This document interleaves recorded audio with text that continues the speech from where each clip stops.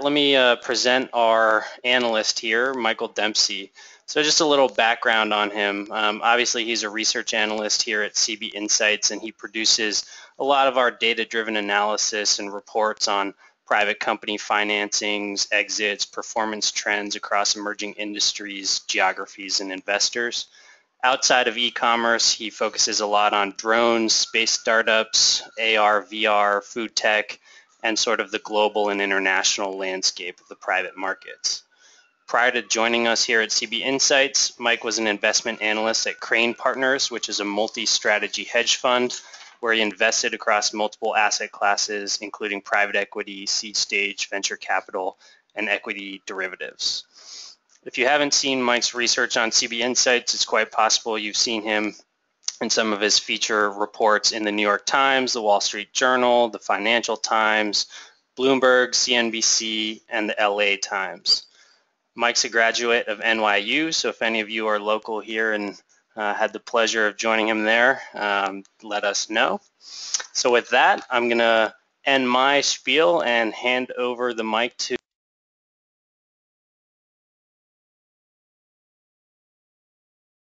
Thanks, Victor.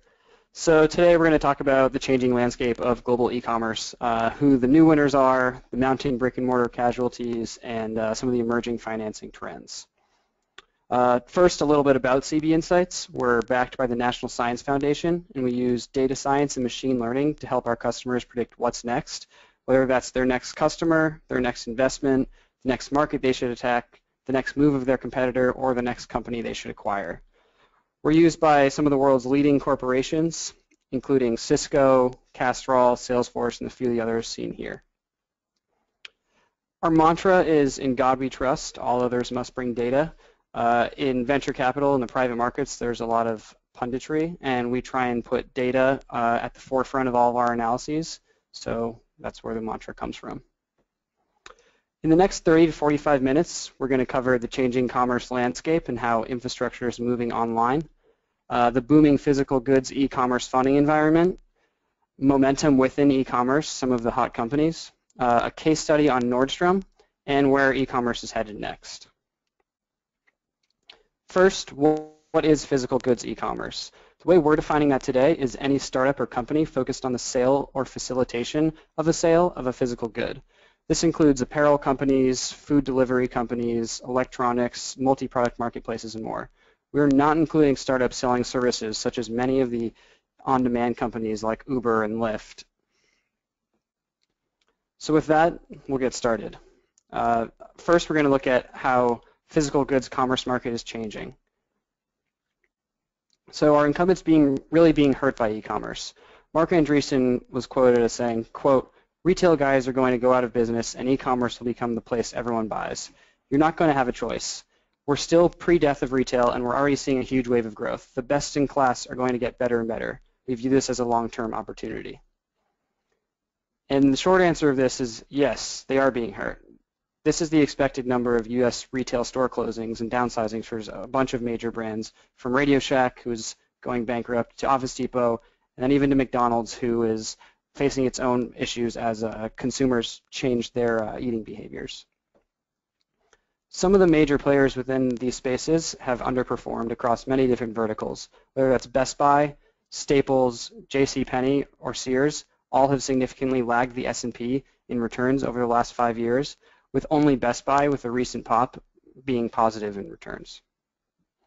However, others have weathered the storm and or benefited from some economic shifts.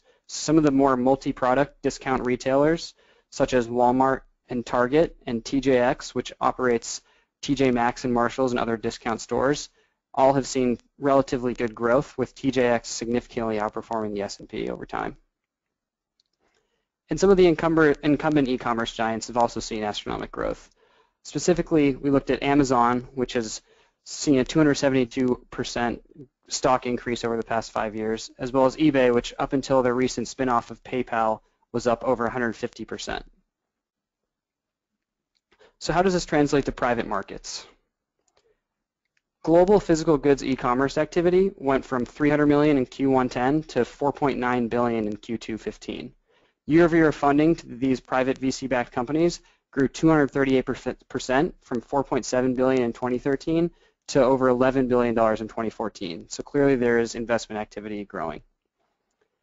And the funding has been really dominated by three countries, um, specifically the United States, India, and China. Um, Asia, you know, it generally has has led in a lot of the uh, total funding received, with China specifically outpacing the U.S. with 28% of the uh, total funding since 2010. But if you look at the number of deals, the U.S. had 962 deals since 2010 through Q2 15, which is significantly higher than China or India's 188 and 184 deals. So just looking at some broader trends, um, Asia has seen the most funding, as we talked about, and this has been a lot. A lot of that has been driven by some of the mega rounds. Specifically, in 2014, there were multiple 500 million dollar plus rounds, including a billion dollar round to Flipkart, a 700 million dollar round to Flipkart, and then Snapdeal's 627 million dollar round. North America has seen a similar uptick, with Q2 15 reaching over a billion dollars due to large rounds to Context Logic, which owns Wish, Blue Apron, and Warby Parker.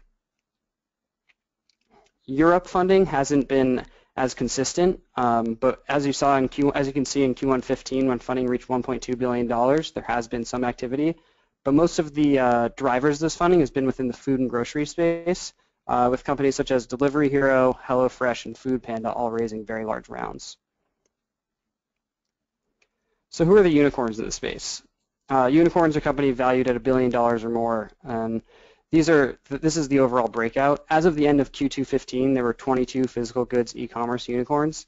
Asia led all the continents with nine, with North America trailing at eight and Europe at five. Uh, as you can see, they're across multiple verticals, whether it's Blue Apron and Instacart in the food space, um, multi-product commerce on Flipkart, you know, daily deals, or uh, other goods, you know, such as more verticalized spaces like Warby Parker and Houzz. Um, this chart also does not include the Honest Company, which most recently raised over a billion dollar valuation. And here we just get an overview of unicorns by country, with US, China, and India accounting for 68% of all unicorns. So who are the most active investors? Where are the other investors coming from? Uh, we're going to dive into that. So any attractive market means the smart money is increasingly active. So the smart money we classify as you know some of the top VC funds in the world. This includes funds like Greylock, Bessemer, uh, Battery Ventures, First Round Capital, etc. Um, Accel Partners has been the most active, and as you can see here, using our social graph, uh, they have a lot of activity and also a few common invested investments. So Accel has invested in Flipkart, Myntra, Bonobos, BlaBlaCar, and also invested in Etsy, re which recently went public with USV and Index Ventures. Kleiner Perkins, who has the second most exits of any investor since 2010, invested in Jingdong, which went public, as well as unicorn Instacart, and also other high-growth companies like Dollar Shave Club, which recently passed Schick for number two in market share overall in uh, razor blades. And corporates have also been pretty active. So over 20 deals per quarter for nine straight quarters, and the rounds that they've participated in have been topping 1 billion four of the last six quarters. And a lot of the Asian mega rounds have featured uh, featured the corporates. So Ele.me, which is a food delivery company, they raised $350 million, and that featured Tencent, Jingdong, and Dianping. And uh, if you look back in Q2 11, that spike you're seeing is a $1.5 billion round, which featured Walmart. As we kind of just talked about, um, China leads all countries within e-commerce uh, from corporate investment. And you can see those large rounds, which we mentioned, Jingdong, Dianping, Ele.me, accounted for over $3 billion in funding alone since 2010. And that is almost up to the uh, total that the United States has seen since 2010. Here's a few activity. Corporates are corporates are getting active across multiple verticals. So you're seeing Intel Capital investing in Snapdeal, you know, Google Ventures in vertical uh, mobile apparel marketplace Spring, Tencent across multiple Asian companies doing food delivery, uh, and then Comcast even with their venture arm doing Instacart and Dollar Shave Club. So it's it's across you know food delivery, apparel, home furnishings, broad marketplaces, um, and vertical marketplaces. Um, there are also large entrenched players that are investing in e-commerce. So here are a few of them, and we're just going to run through uh, what they've been doing. Um, so to start, you know, as of recent, Amazon has made really one main investment uh, on the pure physical goods e-commerce side, and that was Yummy77, which is a Chinese online food vendor that they took part in a corporate minority round for $20 million in May. They've also made a few investments on the uh, e-commerce tech side, which isn't exactly in line with what we're talking about today, but thought it was notable to mention. Um, so whether that's fleet tracking and telematics, or you know, ShoeFitter, which is an online shoe fitting tool, or the Yodel Delivery Network, which is a parcel delivery company in the UK. Um, all of them have clearly paying attention to e-commerce and clearly clearly making sure that they're staying ahead of any trends that they see. Uh, next, we want to go to JD. Uh, JD's multi-product commerce. Uh, they've invested in you know multiple Asian retailers, three of which are focused on the food space: um, Ele.me, Fruit Day, and Daojia. But then also uh, MaiMaiBao Information Technology, which is an SMS-based mobile retailer, and that's something that they've invested in as emerging markets uh, continue to come online. In some of the you know less digitally penetrated and less uh, lower internet penetration markets, SMS e-commerce is something that uh, many have seen as kind of a way to bridge the gap until um, markets get online and start building some of that, you know, quote unquote digital uh, buying behavior with with uh, consumers. eBay has also had multiple investments and acquisitions uh, over the past few years. So Giosis, which is a joint venture, a multi-product online marketplace uh, targeting Asia. Snapdeals, also Daily Deals, um, Rumgr, which is location-based secondhand goods they acquired, and Quikr, which is an online uh, classified site. In Alibaba, same thing, um, mostly in Asia-based companies, and then you have food delivery, online flash sales, daily deals, um, and then also recently in February investing in Jet.com, which is you know trying to take on Amazon using more efficient uh, delivery methods. There's also been packs of hedge funds and mutual funds that are moving in at the late stage, and even in some cases, the early stage, like Tiger Global, who invested in Eve Sleep seed round, or Dragoneer, which invested in T-Box's $6 million Series A. So this is a trend that we're seeing uh, drastically increase in 2014, but we're kind of seeing this across all of tech more broadly. Um, hedge funds and mutual funds are moving down the funding stack, as they say, and getting into mid and late stage deals, and it's kind of being driven by that private IPO trend that everyone's talking about. Companies having the availability to raise money and then subsequently wanting to stay private longer to either avoid the scrutiny of the public markets and and or build uh, build their business in a maybe way that public markets would not be as palatable for. So some of the top crossover investors in physical goods e-commerce, uh, just looking here, Tiger Global, Goldman Sachs, T. Rowe Price, Fidelity. Um, their investments kind of are across the board in in uh, in company type and vertical type, but they're all have been very active. And when we look at the most active traditional VC investors, you see a lot of the uh, usual suspects and you know SV Angel and 500 startups, and also companies like Box Group, which have definitely an e-commerce uh, hint to them, with David Tisch um, being you know, this essentially being his fund with Adam Rothenberg, and they also started Spring, which is a vertical mobile commerce company as well. So clearly they're they're paying attention to this space, as well as Andreessen Horowitz, First Round Capital, Index Ventures, Founder Collective, Great Oaks VC, and uh, Holtzbrinck, which is invested in multiple European startups in the e-commerce space. So who are the startup challengers? Who are the companies with emerging uh, with momentum? Uh, we use a tool called Company Mosaic, and basically the mantra is that liquid doesn't have to mean opaque. And so what Mosaic does is quantitatively analyze uh, private companies, and it tracks three M's. Um, so momentum, which uses signals from hiring growth, executive turnover, you know, news sentiment, uh, job listings, web traffic, mobile app data, and social media chatter, and a few other things um, to create a score on how, how much momentum a given company has at, at a time. We also analyze the company's market, so what they what they operate in. You know, if you're operating in a space like uh, you know car hailing, that's a very hot space. Your score could be improved because of that. And then also money, the financial strength of your company and the viability of the company based on their burn rate, their financial, their financing history, and investor quality.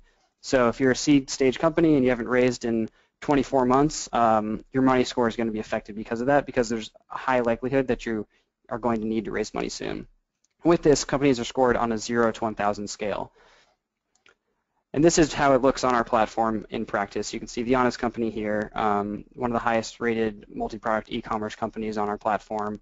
obviously, like I said, this was before, uh, this was taken, you know, as they were getting ready to announce that, that big round of financing. And we're just going to kind of gloss over this. Um, as, as you know, you're going to get this presentation afterwards if you want, so you can see some of these companies. But we looked at some of the top four companies across marketplaces, across brands, and then also across the on-demand space. Um, also, Mosaic is good at identifying, you know, somewhat potentially problemed companies. So what we've seen, these are three that we looked at uh, that we've done some research in and had had data kind of indicate that these companies might be worth keeping an eye on for hiring or M&A purposes. Um, so Lot 18, you know, is, has had is an online high-end marketplace, wine marketplace, and they've downsized and shut down UK operations. Um, Glossybox also shut down multiple offices, and Spoon Rocket we uh, dove deeper in, in in a in a blog post, but their rivals have raised a lot of money, and they recently had to shut down in Seattle after only four months after their launch. So these are just companies to keep an eye on. Uh, moving towards our case study, um, we're looking at Nordstrom, uh, who has been, you know, one of the kind of thought leaders in this retail to uh, e-commerce and kind of creating that omni-channel experience. Um, as of now, uh, web accounts for 19% of, of Nordstrom sales, which is up from 16.4% in 2013, um, and equivalent of about $2.5 billion. So a little background on Nordstrom. Um, in 1998, they launched Nordstrom.com, and then in May 2008, slash into 2009, they uh, introduced the buy online, pick up in store concept, and they were one of the first big, you know, national retailers to do this. And this is kind of the the quote that Jamie Nordstrom, who's the president of stores now Nordstrom, says: "We can sell more without having to buy more inventory, and that plays through to margins and ultimately earnings." So they saw it as a great opportunity to, um, you know, bridge the gap between online and offline, which is something that any major retailer is now working to do. Um, in February 2011, Nordstrom made kind of one of its first splashy acquisitions within the e-commerce space, uh, acquiring HauteLook.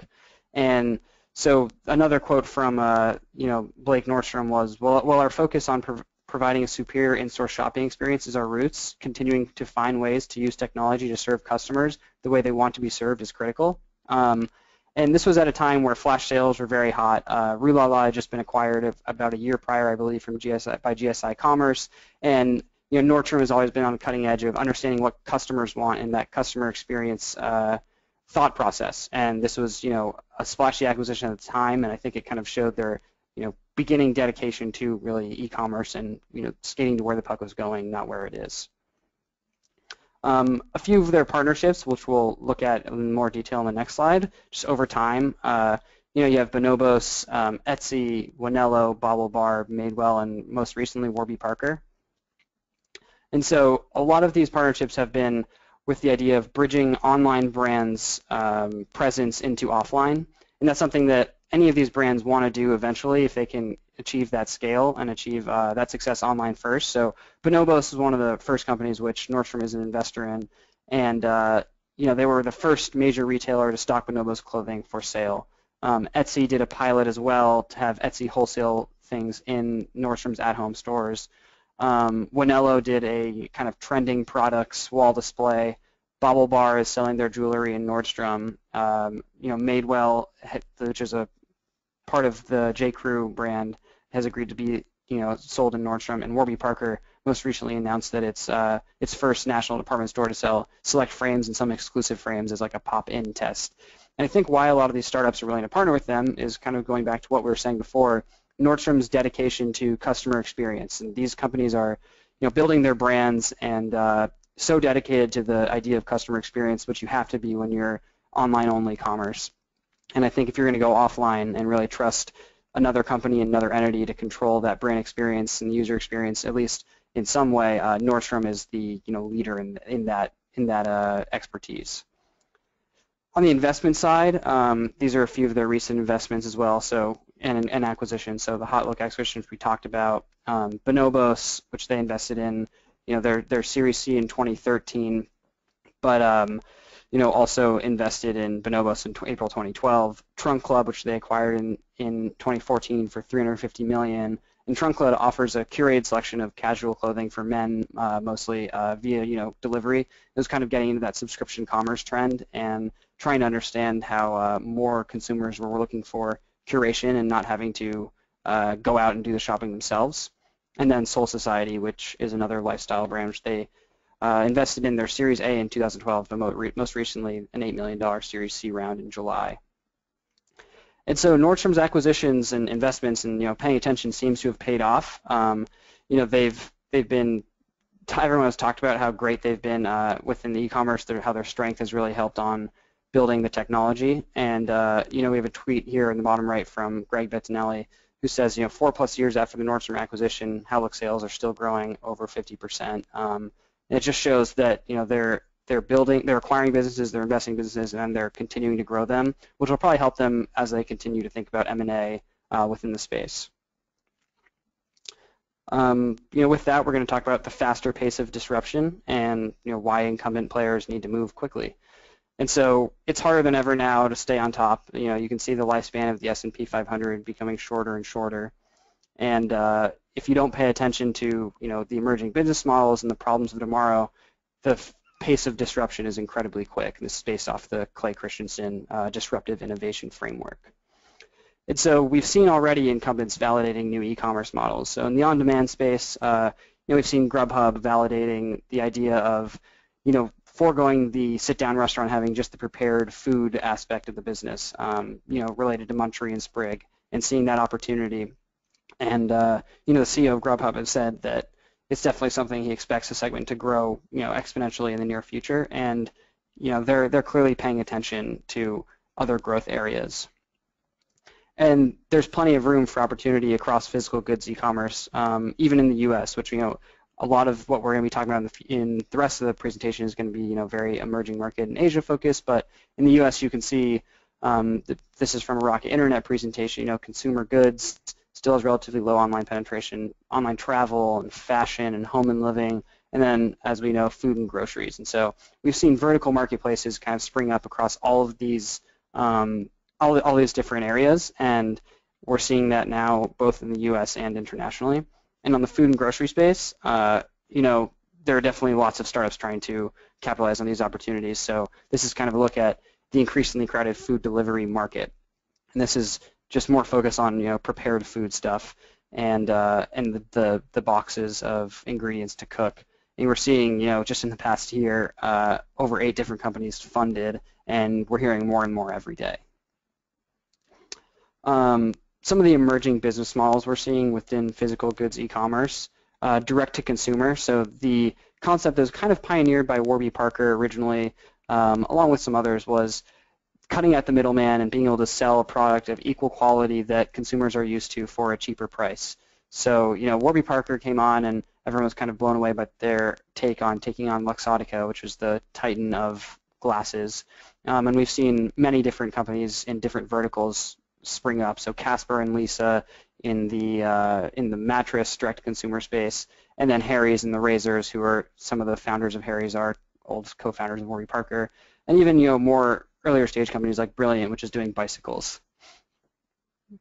Um, next, you know, we've seen subscription commerce, which is something that is probably one of the older trends, but it still has has some interest that we've seen, uh, you know, happen more on the on the food side as of recent. But Dollar Shave Club one, uh, Birchbox, Nature Box on the snacks, BarkBox on the dog, and Blue Apron, which you can do on a on a subscription basis, uh, with kind of helping replenish your uh, kitchen. We've also seen the on-demand market, which everyone knows about. Um, everyone's talked about billions of dollars of funding. Uh, consumers are more than ever using their phone as a remote control to the rest of their lives. And uh, the idea of getting food, getting alcohol, getting anything you need delivered, whether that's, you know, uh, including even marijuana, we've seen companies be funded for. So this is something that we don't think is going to slow, and we think that, uh, you know, overall as as mobile penetration increases and as this kind of thought process of the on-demand consumer continues to grow, um, this is something that is a multi-year trend that's been developing. And last, secondhand products, um, just kind of taking that idea of, of you know thrift stores or used marketplaces online, maybe doing a better Craigslist in, in certain verticals. Um, that's something we've seen, you know, even today, ThredUp announced $81 million funding at a $500 million valuation from Goldman Sachs. We've also seen a lot in the used car marketplace. So two Asian companies, Yuexin and Cheiyi uh, both have raised over $100 million rounds, and we've seen used car marketplaces uh, have over $1.1 billion in funding since 2014. So clearly the different verticals, um, whether it's apparel or cars, uh, it's it's getting funding it's getting noticed by investors. And these consumer-facing brands, you know, they need to pay attention more than ever. So you look at the idea of online-only brands, which we've talked about, and you know, controlling in in you know extreme detail the uh, consumer experience and the brand messaging, and companies like Procter and Gamble, which have you know billions of dollars of products, are being unbundled everywhere from Walker and Company to Glossier to you know Beam to Unreal Foods to Honest Company. Uh, they have to pay attention, and these are you know these Honest Company and Harry's and Dollar Shave Club. You know, these are big companies that are uh, well funded and have plenty of have plenty of uh, resources to try and take them on in their given verticals, and then perhaps Trojan horse their way into other areas. And we're also seeing this in a smaller extent on the fashion side. Um, companies like Everlane and Bonobos and Jack Erwin, you know, taking on any of the large fashion brands and trying to provide better branding, you know, more transparency about their materials, more transparency about, you know, the origin of their product, things like that, and, uh, you know, doing it across pretty much the entire stack of clothing, whether that's, you know, menswear, women's wear, accessories, etc. And the funding to this space is following too. You know, we've already seen 2015 reaching a new high, over 230 million dollars, and you know, this this is as of August, and so we're we're seeing the, the investors follow this trend, and uh, this is something that we're going to keep an eye on in the future. And what's what's old is new again. Um, startups going are even going brick and mortar, and so many of these different startups that we've been talking about have either opened pop-up or full-scale brick and mortar shops, and uh, that includes Birchbox with their store in Soho. Everlane has done a pop-up shop. Warby Parker is obviously has a huge brick and mortar strategy uh, Oak, Harry's, Bonobos, and BaubleBar. And uh, you know these these companies are using the brick and mortar as partially a marketing play in some instances, but also in, in a way to kind of get get the uh, people who are offline shoppers aware of their brands and aware of you know what they're doing, their business models, and it's a way to reach new customers in new areas and also really maintain a presence in people's lives. But uh, many companies avoid retail shops because of the overhead costs but Warby Parker's eight stores have actually turned a profit, and they sell an average of $3,000 a square foot each year.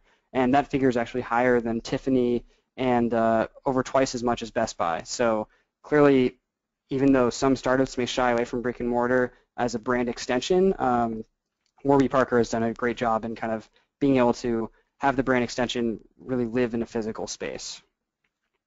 And a few of the other trends we, we're seeing, um, you know, e-commerce shipments, including free shipping, and then the next frontier of that is free shipping on returns. One-day sales uh, becoming huge. So on Singles Day in Asia, Alibaba sold billions of dollars. You know, Cyber Monday sales reached 2.3 billion dollars, and then also mobile commerce. So especially in Asia, um, where you know it's just a lot of these economies are becoming and starting mobile first when they hit the internet. Uh, mobile e-commerce is you know 42% sales share in India and around 33% in China.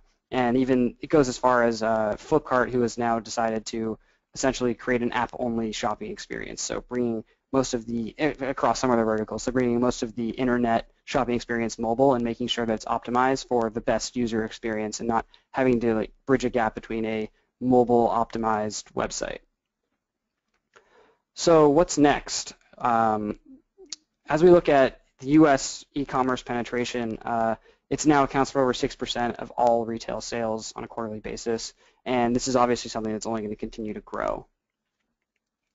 We look at it on a global basis. Um, we've seen growth of 60% from 2012 to 2015.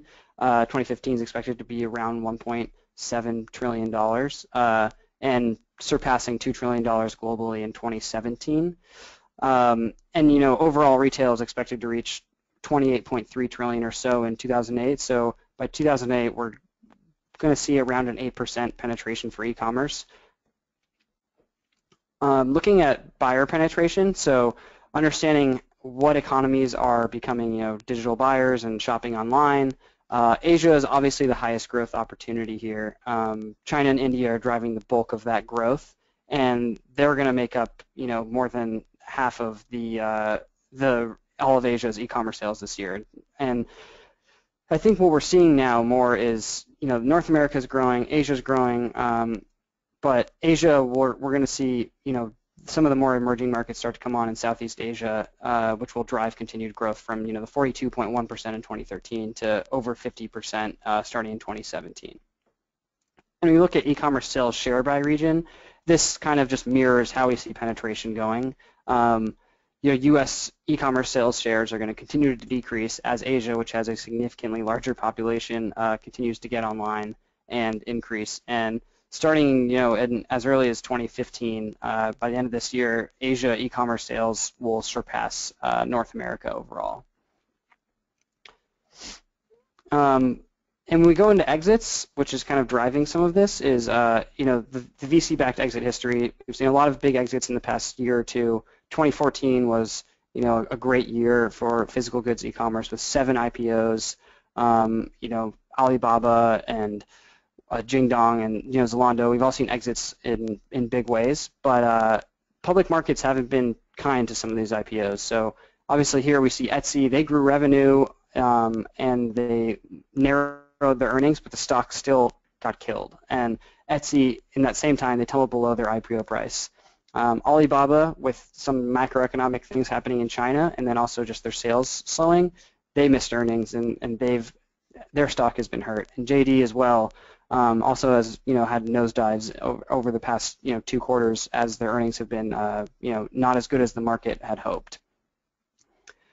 But could this poor public market performance lead to consolidation? Um, you know, the most recent example is Zulily, who stumbled out of the gate and never really did that well um, after a brief pop in, I think, in mid to early 2014. The stock just kind of cratered. And just recently, QVC uh, owner Liberty bought Zulily in a $2.3 billion deal, so a small premium to the stock market price. But we could see other large retailers potentially picking up, you know, beaten up stocks for the uh, e-commerce, you know, to, to build out like a multi-product e-commerce suite. And we've also seen, you know, older legacy companies like Karmaloop, which is a much smaller deal, um, being sold to lenders because they just didn't change with the times, and no suitors emerged to kind of even buy the assets of a, of a company that at one time was doing uh, over $100 million in revenue.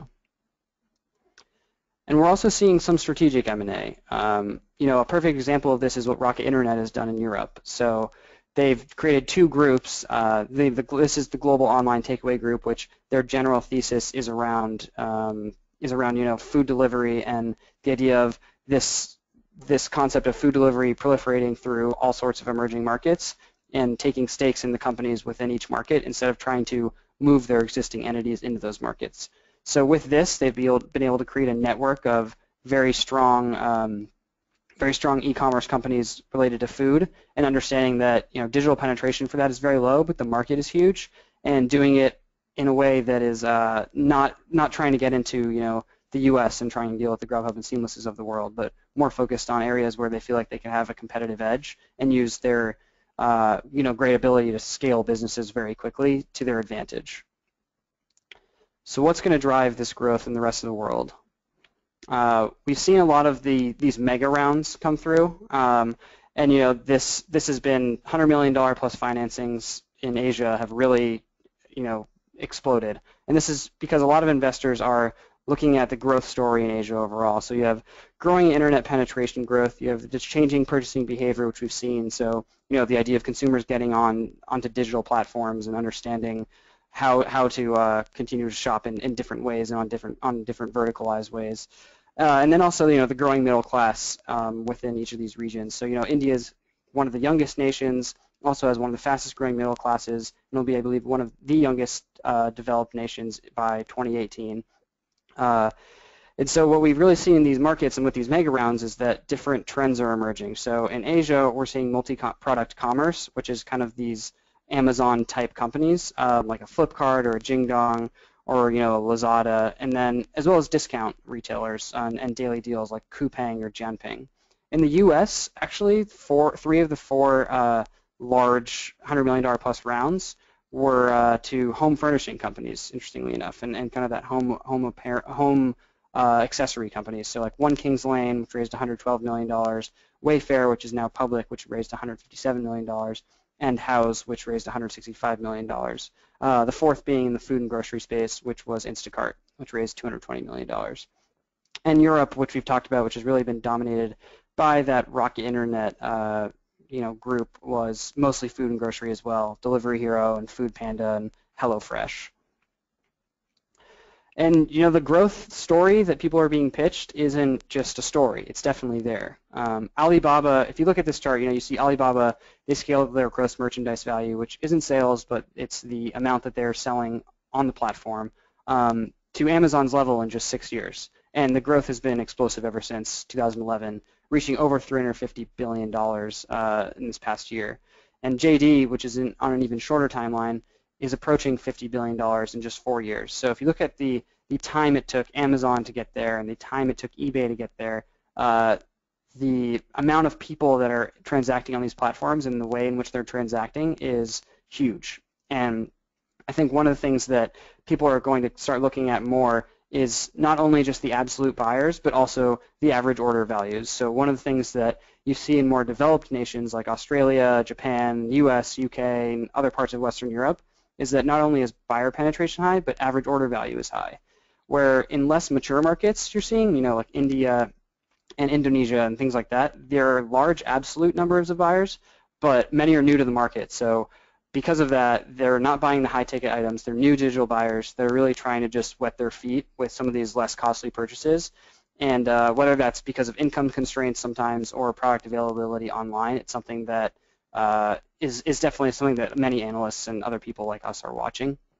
And this is kind of what we've been talking about with internet user penetration. So you see this this almost breakaway at 20%. Um, and that's where people are, are always talking about how India is a few years behind what China is doing and everyone's seen the growth that China has seen.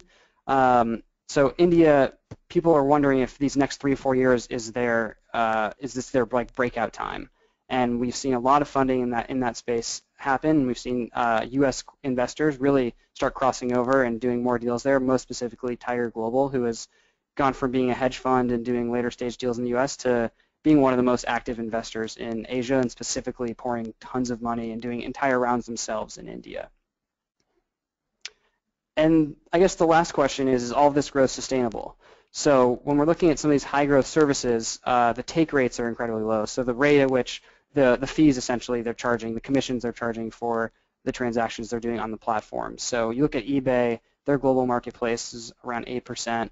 Um, then you look at Taobao, you know, even though their gross, gross merchandise value volume is huge, uh, their take rate's very low. And many wonder if that low take rate is what's driving a lot of this growth because it means a more attractive platform for consumers. And you see the same kind of thing with Groupon versus Meituan. Um, similar explosive growth, but huge discrepancy in take rates. And so all this is kind of looking at that, that final point of, you know, it's not the first time in tech that companies have sacrificed economics for growth, but as we continue to look at the e-commerce space and as we continue to think about, you know, how is Asia going to change? How is the, this, you know, globalization of e-commerce going to change and really play out to where uh, Asian companies are transacting often in the U.S. and U.S. companies are trying to break into Asia for the large market and moving even into South America and Europe and in some instances as well Africa. This is something that I think a lot of people are going to have to pay attention to, and uh, this is kind of where we're going to where we're going to end this part of the presentation. So with that, um, we're going to move to some of the questions and you know underlying how you get underlying data and helpful links. So to start, um, if you have questions for us and you want to access the underlying data, uh, you can talk to our customer success team, which is uh, Jonathan McKenna, who's the head of our customer success, as well as Anand Sanwal, who's our CEO. Um, and if you're not a customer, you can reach out to Anand, or you can set up a free trial account to see some of the data. Um, and so yeah, as, as you go through, you can look through and see some of the profiles that we've done, some of these companies. Um, with that, we're going to start taking a few questions. So let me just look through what questions we have here.